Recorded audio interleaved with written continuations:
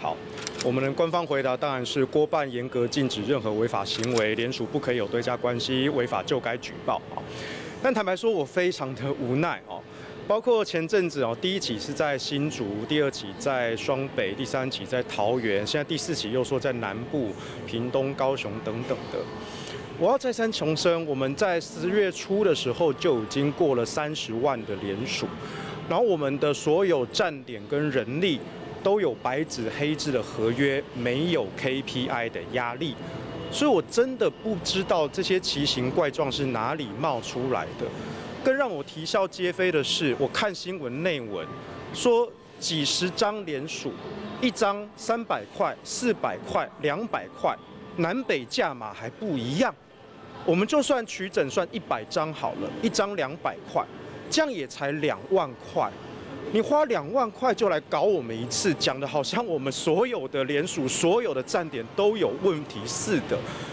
我就不禁怀疑，这到底是谁在搞阴谋啊？然后现在减掉大众做的搜索、约谈民众，搞得民众人心惶惶，好像来我们联署站签一张，就随时会被减掉，请去喝茶。所以我最近其实郭办收到一些民众的反馈，就说啊，你们联署还好吗？啊，我们现在联署还安全吗？我跟各位保证，我们官方的站点都没有问题。这几波事件发生，我们都第一时间的请法务团队到各地的站点。还有各地地方窗口去确认，到底是不是我们的人？不是，这几个案件都是零星的个案。包括警政署长在立法院答询的时候，他也似有若无的暗示说，哦，好像各县市都有零星的个案。那这些个案真的都来自于郭台铭的官方站点吗？据我们清查的结果，都没有。我们官方站点绝对严格遵守法规，但是就。经济学的动机上看来，我再强调一次，几十张的规模，不是几千张，也不是几万张，然后你跟我说一张几百块，